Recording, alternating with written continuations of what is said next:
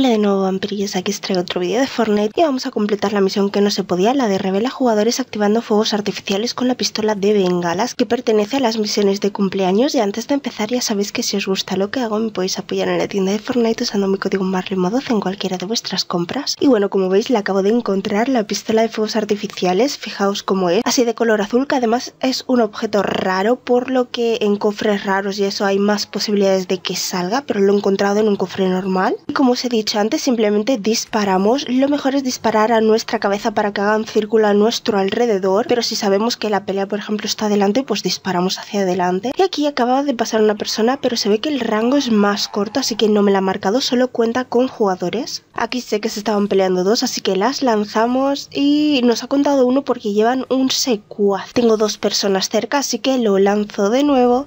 Y fijaos, solo me ha contado una. El rango es que es muy corto porque aquí al lado había otra o se ha ido, pero vamos que estaba ahí al lado. Mi consejo que vayáis a zonas donde se esté peleando gente. Aquí creo que hay tres, ¿no? Bueno, pues lo lanzo hacia donde están los tres para que me los marque. Creo que han matado a uno justo antes de lanzarlo yo. Y aquí lo que podemos hacer es esperar unos segundos a que se le quite la marca y volverlo a lanzar. Aquí como veis se le ha quitado la marca, lo volvemos a lanzar y nos marca a los dos porque son un poquito malos y nos están matando.